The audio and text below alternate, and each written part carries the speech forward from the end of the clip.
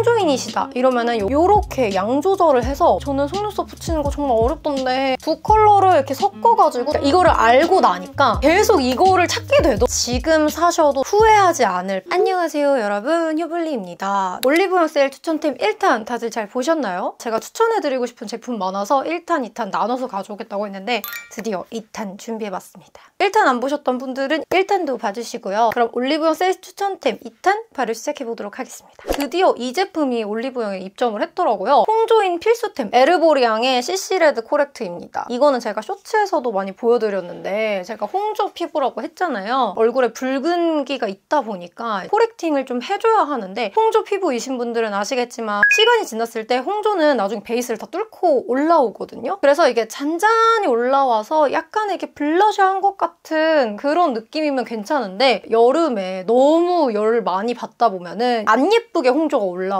요. 그래서 이제 한 번 홍조를 커버해주고 베이스를 해주시면 너무너무 좋습니다. 자외선 차단 기능도 있는 제품이에요. 자외선 차단제를 발라주고 이거를 바릅니다. 왜냐면 이거를 베이스 전체 해주는 게 아니라 정말 볼 부분에만 코렉팅을 해서 쓰고 있거든요. 막 그렇게 많이 짜서 바르지도 않아요. 저는 이 정도 해가지고 볼에다가 되게 얇게 펴발라주거든요. 그러면은 이렇게 민트색으로 발리는 건가요? 싶잖아요. 이렇게 이거 보시면은 이렇게 펴바르면은 살짝 이런 베이지빛으로 약간 변합니다. 그러면서 홍조를 커버해주거든요. 이거 하나만 바르면은 여기 보시면 아시겠지만 피부 색이 그렇게 예쁘지는 않아요. 그래서 이 제품은 정말 correcting용으로 사용을 해주시면 좋은데 막 꾸덕한 컨실러 같은 거 있잖아요. 그런 걸로 여기 볼 전체를 다 커버하다 보면 사실 correcting 제품을 잘 안 쓰는 게 여기 나중에 좀 주름 끼임 같은 그런 현상이 또 많이 생겨서 저는 이 correcting 크림을 쓰는 게 훨씬 좋더라고요. 발림성도 좋고 진짜 뭔가 그렇게 어렵지 않게 커버가 가능하거든요. 그리고 이거 가 건조하다고 느껴지셨던 분들은 이거를 혹시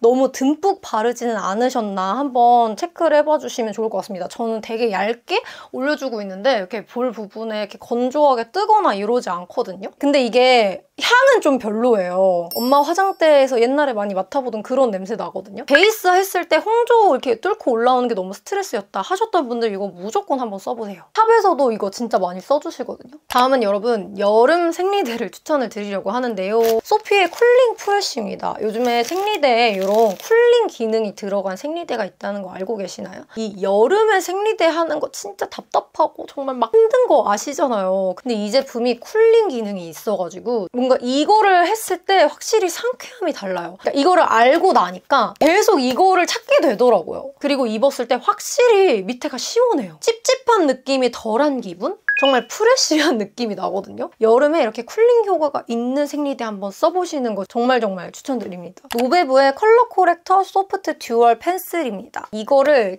진짜 잘 쓰거든요. 영상에선 지금 처음 보여드리는 것 같아요. 이번에 이게 올리브영 입점이 됐더라고요. 이게 이렇게 dual pencil이에요. 이렇게 연어색 그리고 한쪽은 보라색 이렇게 있어서 correcting pencil인데 보라색은 좀 칙칙한 곳을 밝혀주는 다크서클 부분에는 푸른기를 잡아주는 연어색을 써주는 거거든요. 지금 이쪽이 이걸 쓴 거예요. 그리고 이쪽은 이거를 안 쓴 쪽이에요. 그래서 약간 그 차이 느껴지시나요? 이거를 해주고 안 해주고 차이가 있는 거예요. 핫 타입으로 된 거 있잖아요. 얇게 펴서 발라주는 skill이 조금 필요하거든요. 너무 두껍게 바르면 좀 떡지고 좀 나중에 갈라지잖아요. 생각보다 이 팥을 꺼내가지고 브러쉬에 묻혀가지고 그거를 이렇게 얇게 바르고 이게 조금 번거로운 거예요. 이쪽에 있는 이 푸른기를 살짝 잡아 보도록 하겠습니다. 일단 발림성이 좀 뭔가 시원시원시원하게 발리는데 이게 막 두껍게 떡치듯이 발리는 느낌이 아니에요. 간편한데 너무 잘 커버가 돼요. 그리고 여러분 다크서클 커버할 때 팁은요. 여기 눈 밑을 그냥 다 하는 게 아니라 이 푸른 라인을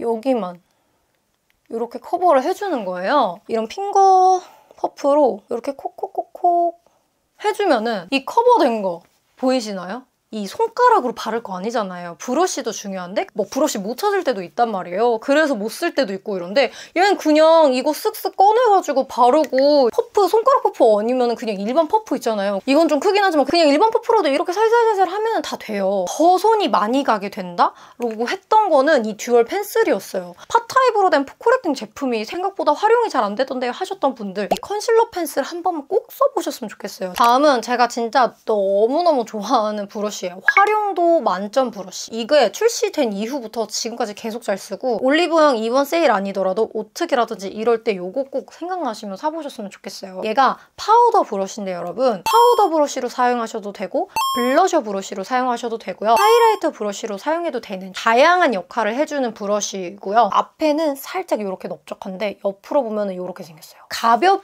얇게 파우더를 올려주는 그런 제품이다. 이렇게 생각을 해주면 될 것 같습니다. 그래서 떡지듯이 뭉치듯이 발리지 않는다는 점에서 제가 이 브러쉬를 정말 정말 잘 쓰고 있고요. 파우더 바를 때는 약간 이렇게 이렇게 쓸어서 사용을 해주고 있고요. 하이라이터 쓸 때는 여기를 이렇게 닦아서 옆으로도 이렇게 이렇게도 사용할 수 있거든요. 그러니까 이렇게도 사용해도 되고 여러분 이렇게도 사용해도 돼요. 그래서 이렇게 묻혀주고 이걸로 이렇게 쓸어주는 거예요. 그러면 하이라이터도 되게 잘 올라오거든요. 블러셔 올릴 때도 여기다 이렇게 묻혀주고 여기다가 살살살 쓸어주면 불타는 고구마 되지 않게 올라갑니다. 양 조절이 유용한 그런 브러쉬라는 거죠. 일단 얘가 발색이 좀 진하잖아요.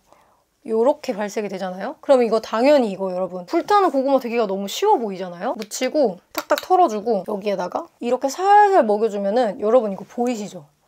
진한 이런 불타는 고구마 같은 이런 컬러도 이렇게 양 조절을 해서 불타는 고구마처럼 블러셔가 올라가지 않게 만들어준다는 거예요. 진한 거를 이렇게 좀 은은하게 올려주는 용도로 사용할 때가 정말 정말 활용하기가 좋은 제품이라는 점. 제가 이거를 계속 추천을 드렸는데 약간 활용하시는 방법에서 잘 모르시는 것 같아서 이번에 좀 제대로 말씀을 드려봤어요. 저도 이 트위저 없이는 속눈썹 붙이는 게 너무 힘든데요. 코링코 트위저입니다. 이렇게 생긴 트위저인데 네모나게 된 거라든지 U자라든지 이걸로는 속눈썹 붙이는 게 저도 너무 힘들었거든요. 근데 이거 쓰고 속눈썹이 너무 잘 붙어요. 어떤 속눈썹을 붙여도 이 트위저가 있으면 정말 잘 붙습니다. 저는 속눈썹 붙이는 거 정말 어렵던데 이거 기술이 정말 중요하잖아요. 네, 기술 중요한데 도구도 진짜 중요해요. 속눈썹을 이렇게 딱 잡을 수가 있거든요. 이 트위저로. 이게 이렇게 다 잡히는데 얘가 막 힘이 그렇게 막 들어가게 잡히지도 않고 정말 딱 잘 잡히다 보니까 풀 묻히고 이렇게 들어서 속눈썹 붙일 때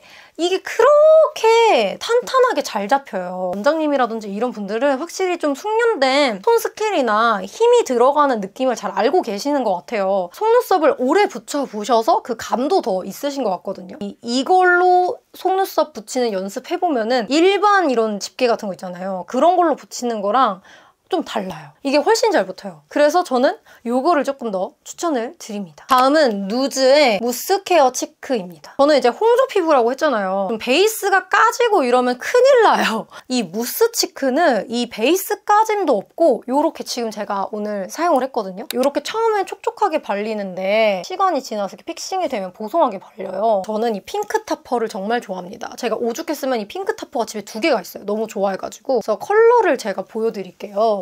이런 색이에요. 근데 제가 사실 지금은 핑크 타퍼 단독 발색은 아니고요. 여기다가 얘는 또 타로 무스라는 쿨톤 컬러예요. 그래서 약간 라벤더빛이 도는 얘는 약간 여쿨분들이 쓰기 좋은 그런 컬러인데 오늘 저의 블러셔 조합은 이 두 개를 섞어준 조합입니다. 두 컬러를 이렇게 섞어가지고 좀 중화를 시킨 컬러로 발라줬어요, 오늘. 이렇게 바르니까 예쁘더라고요. 핑크 타퍼 단독으로 사셔도 되는데 어, 저 이거 써봤는데 저한테 조금 더 warm한 것 같아요 라든지 할 때 왜냐면 이게 핑크 타퍼가 흰기가 그렇게 많이 있는 컬러가 아니거든요. 근데 거기다가 타로 무스를 살짝 섞어주면 약간의 그 흰기가 느껴져서 이런 중간 색깔이 나와요. 지금 제가 오늘 블러셔 해준 딱 이 색깔? 지금은 제가 위에 하이라이터를 쓴 거예요. 광 느낌으로 올라가는 제품은 아니고요. 보송한 느낌으로 연출이 됩니다. 떡지듯이 발린다든지 베이스가 까진다든지 요렇지 않아서 사용하시기 그렇게 어렵지 않을 거예요. 다음은 정말 따끈따끈한 신상이라고 할 수 있을 것 같아요. 클리오의 글래스 앤 하이라이터입니다.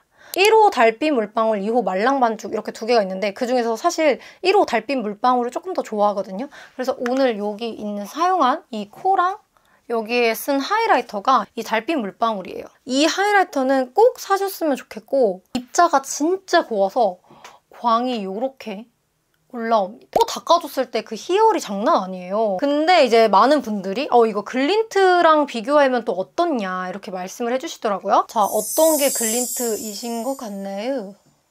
이게 글린트의 밀키문이고 이게 클리오 하이라이트의 달빛 물방울. 이거는 컬러 차일 수도 있는데 사실 막 엄청나게 크게 광감은 둘 다 비슷하죠. 그래서 글린트 게 있다면 굳이 안 사셔도 되겠지만 지금 글린트와 클리오에서 고민을 하고 계신다 라고 하신다면 클리오 거를 좀 더 추천을 드리고 싶어요. 이 팔레트는 지금 사셔도 후회하지 않을 팔레트라고 생각이 들고요. 봄과 여름에 걸쳐 있다 라고 하신다면 더더욱 추천드리고 싶은 팔레트입니다. 저는 봄 거, 여름 거 둘 다 잘 쓰는 사람이거든요. 여쿨에 걸친 봄웜 라이트라서 이게 정말 마음에 들었어요. 오늘 제가 딱 이 팔레트로 메이크업을 했거든요. daily하게 막 한 듯 안 한 듯 light하고 여릿하고 분위기 있어 보이는 그런 메이크업 좋아합니다. 하신다면 저는 레터 프롬 스프링 완전 추천드립니다. 거기다가 이제 진한 음영 컬러도 들어가 있고 여기에도 들어가 있는 glitter들도 이렇게 예뻐요. 어, 생각보다 쿨하던데요 하셨던 분들은 얘가 좀 쿨한 핑크입니다. 흰기가 좀 있죠? 좀 저는 쿨한 거 싫어요 하시는 분들은 이거 빼고 쓰시고 저는 warm한 거 싫어요 하시는 분들 이거 빼고 쓰시면 활용하시기 정말 좋으실 겁니다. 그래서 저도 이 팔레트 쓸 때 얘 잘 안 쓰거든요? 이게 한동안 품절이어가지고 못 구하는 팔레트였단 말이에요. 다만 한 가지 아쉬운 점 엄청 밑에 음영을 확 확 넣어주는 그런 진한 음영 컬러가 얘 말고는 없어서 그 부분이 조금 아쉬울 수는 있습니다. 다음은 이거는 제가 리뷰도 하기도 했었는데 이 팔레트도 진짜 추천드리고 싶어요. 페리페라에서 올테이크 무드 팔레트가 이번에 리뉴얼이 됐거든요. 이 팔레트가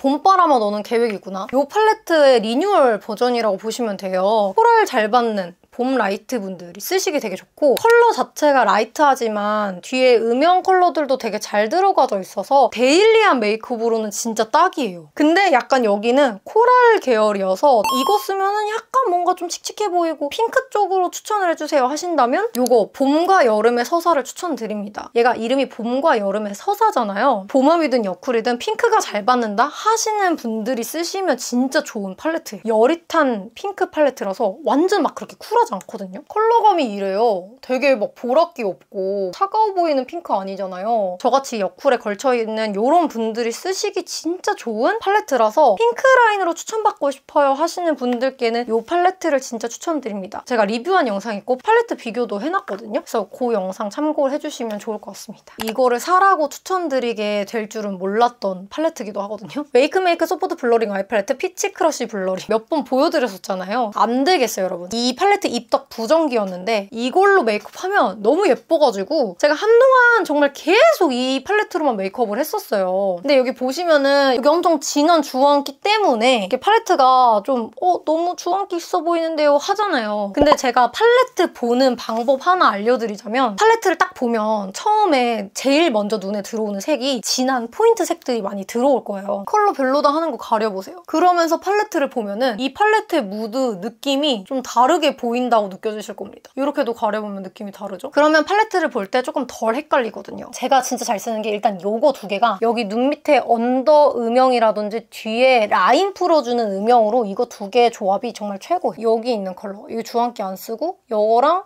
요거랑 여기에 있는 glitter도 다 잘 씁니다. 아무튼 이걸로 메이크업 했을 때 나오는 메이크업 무드가 너무 예뻐서 생각보다 너무 잘 쓰게 되는 팔레트였다라고 여러분들께 소개를 드리고 싶었어요. 제가 지금 띄워놓은 영상 보시면 메이크업 룩이 이렇게 나오거든요. 이 느낌대로 자주 메이크업하고 다녔습니다. 그래서 이렇게까지가 저의 올리브영 추천템 2탄이었고요. 제가 진짜 잘 쓰는 제품들 이렇게 소개를 드렸는데 여러분들 구매하시는데 도움이 되셨으면 좋겠고 좋은 정보 알아가셨으면 좋겠습니다. 오늘도 함께 해주셔서 너무너무 감사드리고요. 우리 또 다음 영상에서 만나요. 안녕!